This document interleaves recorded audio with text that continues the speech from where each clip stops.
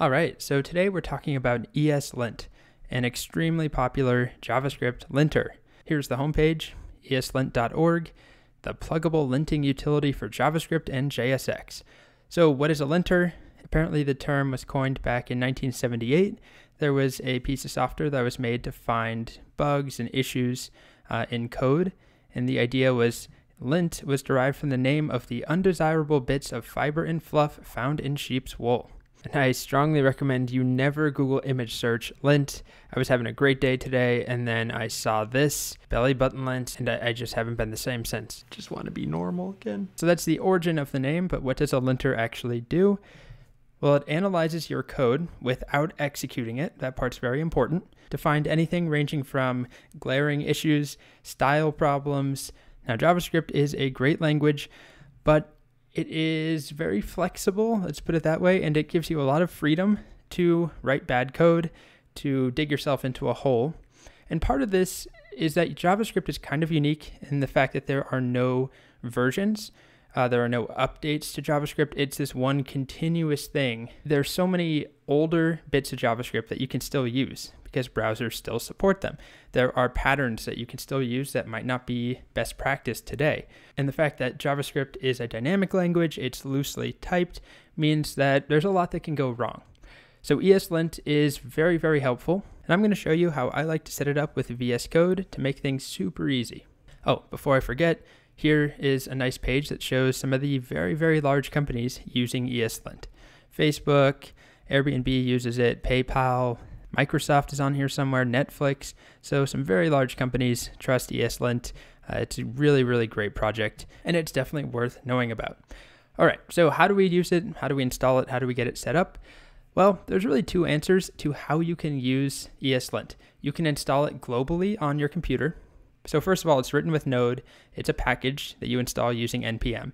But you have two choices: do you install it globally or in your particular local project? And it's easier to do it globally. It's easier to run after the fact. But on the actual web page for ESLint, they recommend that you don't do that. They recommend you do not install it globally and that you should install it locally in each project. And the main reason for this is that it makes it easier to collaborate with other developers um, on individual projects and have different rules. You can still have different rule sets and different um, style guides and all of that that your code adheres to if you do use ESLint globally. But in general, it's easier and it's just better to do it locally. And the official homepage recommends you do this. So let's do it. The first thing I'm going to do is hop over here to my terminal. I have an empty folder. Let's pretend I'm starting a new project. So in this new project, I'm going to have an app.js. So I'm going to make that file. And I'm going to initialize npm in here with npm init-y. So now I have my package.json. And then I'm going to install ESLint. So npm install ESLint dash dash save. It will take a moment. Uh, and while that's happening, let's talk about how ESLint works, how we set up the rules. So ESLint relies on a file called eslintrc, and in that file, you can specify rules. So if we take a look at rules under the ESLint documentation, these are some of the default rules that ESLint comes with. You can set up your own, you can turn these on and off. You can use existing rule sets from companies like Airbnb, which I'll show you. So let's take a look at one of these, which is called quotes.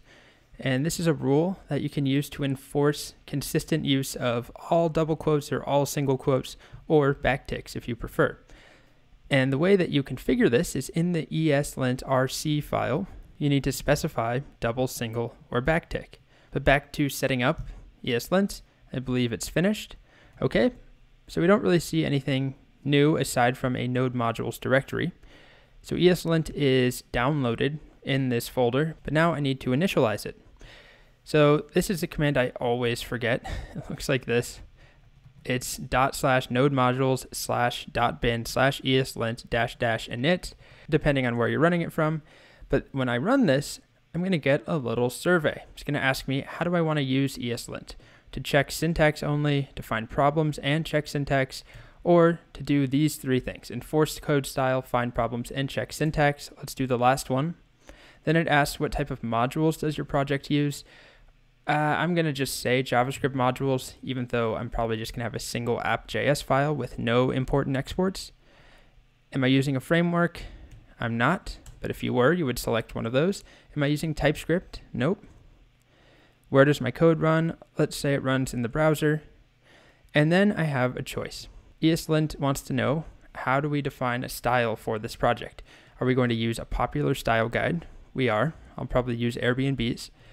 But you can also answer questions that it will ask you about your style, or you can have it look at existing code that adheres to your styles that you like, and it will use that. Most of the time, I either use a popular style guide, or if I'm doing work with a company that has their own style guide, their own ESLint file, then I just use that.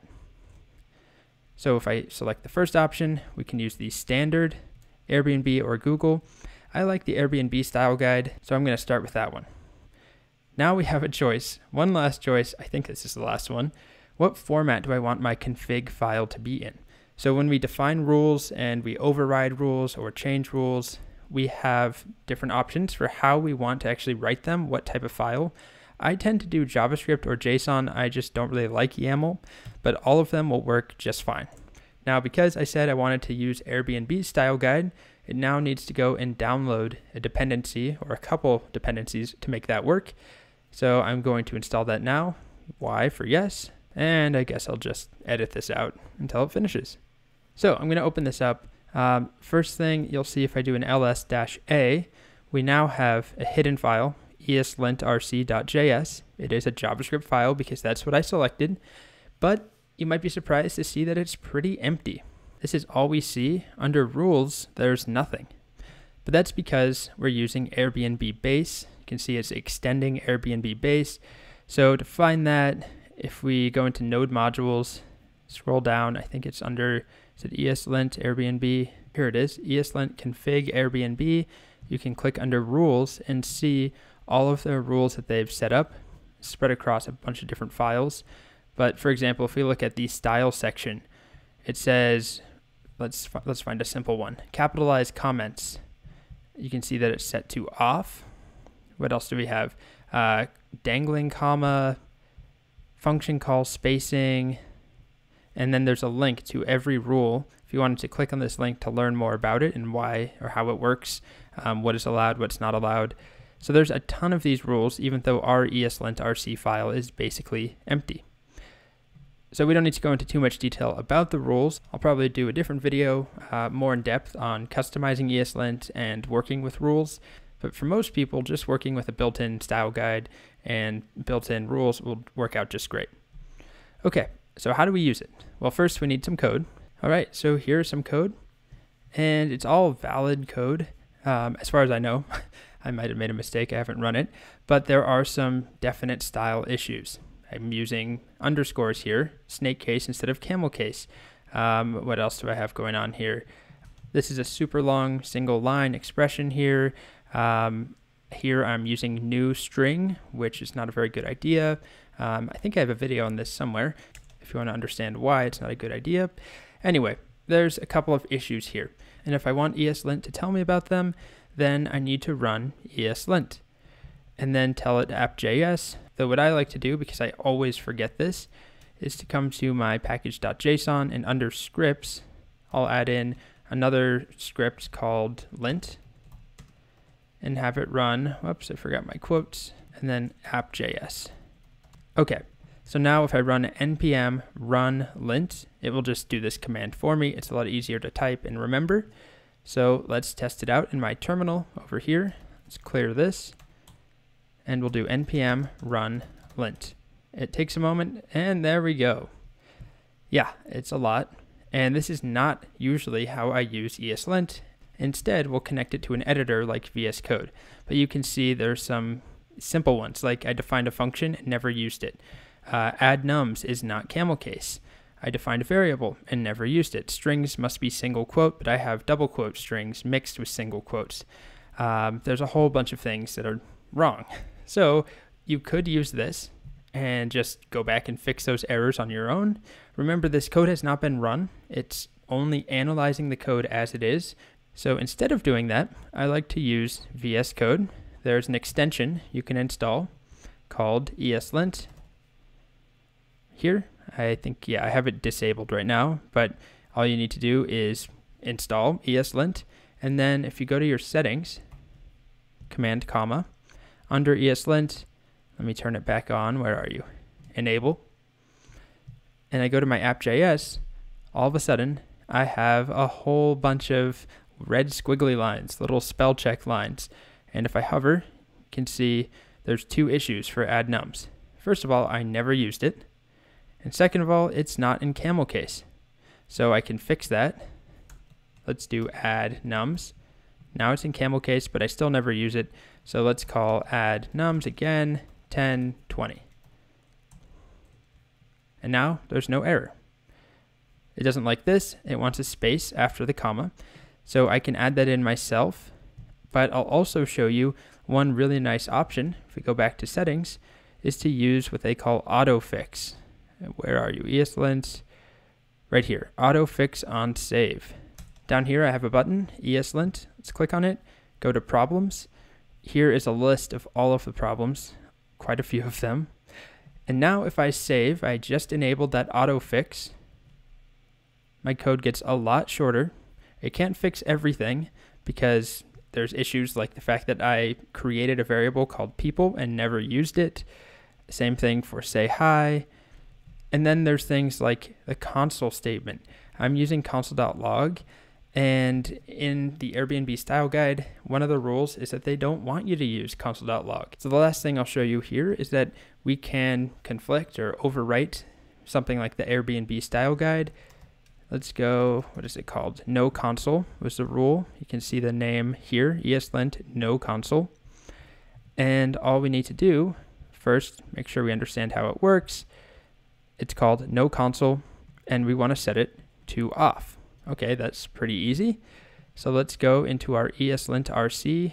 We have rules right here, and we'll set no console to be off and save. And you can see already that went away. I don't have these console.log issues anymore. Now I still have plenty of other issues, uh, but these are ones that it can't auto fix. So it's just identifying problems and it makes it much, much easier for, for me to write cleaner, more coherent, and just better code. It can highlight issues like the fact that I've defined stuff that I'm not using. It's just a great tool, so I highly recommend you check it out. And I hope you enjoyed this video. As always, please leave suggestions in the comments for future video topics. I'm realizing that all of my videos that take off and do well on YouTube are either about VS Code or extensions or colors. None of the super technical ones get very far, uh, but I don't want to become someone who only does sort of the simpler content. So I really appreciate any likes or comments on the more technical videos, the ones that may not do as well. Um, just give them a little boost. Anyway, thank you, and I hope you're having a great day and that you've maybe recovered from that horrifying belly button lint. Gosh.